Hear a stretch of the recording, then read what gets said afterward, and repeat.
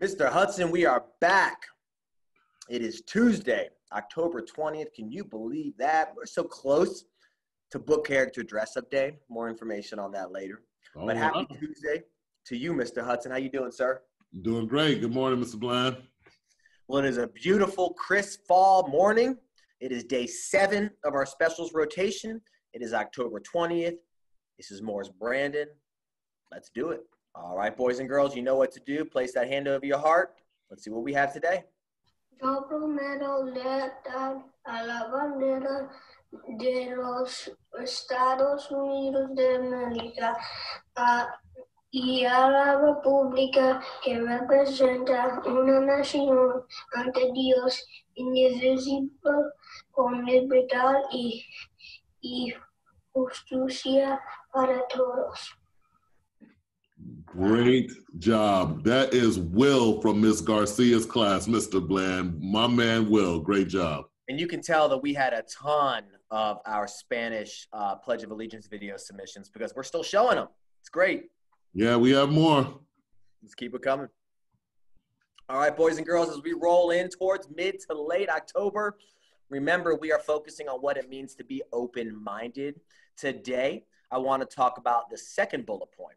Open minded people are able to have their ideas challenged. Hmm, what does that seem like? Well, to me, that means this. A lot of times when people challenge our ideas or beliefs, we are so set in our ideas and beliefs that it is difficult for us to understand where they are coming from.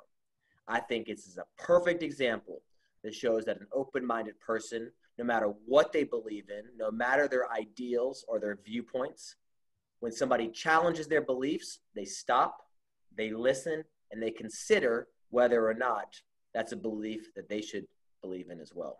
So I think it's very important to know that open minded people are okay with people telling them they don't necessarily agree with them. And I think, Mr. Bland, the best word that you used in that sentence was consider.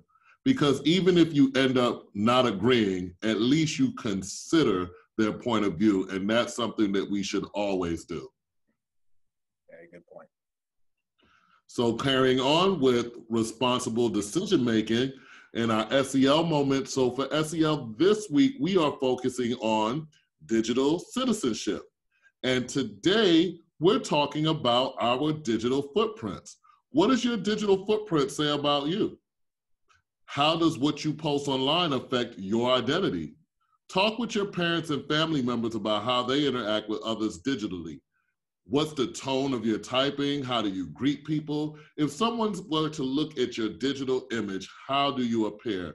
It's very important now, and it's important in your future because jobs look at our digital profile. You apply for a job, and they actually look at, oh, what type of person is this? Let's check their Facebook, Twitter, or whatever they may have in the future as technology changes. They will look at that. So be mindful of what you post, what goes online about you, because once it posts, it stays there forever like a footprint. And people can walk backwards in your life and see what type of person you are. So, what image do you want to present? My favorite part of the day. It's joke time. Mr. Hutson, what gets more wet the more it dries? What gets more wet the more it dries? That's It's like a riddle. I don't know. What do I don't know. I should have known that.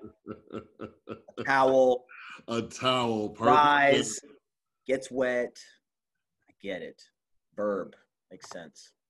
All right. Happy birthday to Cole Pratt and Haley Sullivan. Happy birthday. Have a great day. All right, parent updates. Just stay tuned. We have some exciting things coming our way for our students as we roll into the end of October, November for Thanksgiving, December for holidays. Be on the lookout, students. We are got our we got our student engagement team on it, and we can't wait to roll out some exciting things coming your way. But Mr. Hutson, Mr. Bland. it's Tuesday. Let's get started with our day. Have a great day. Have a great day.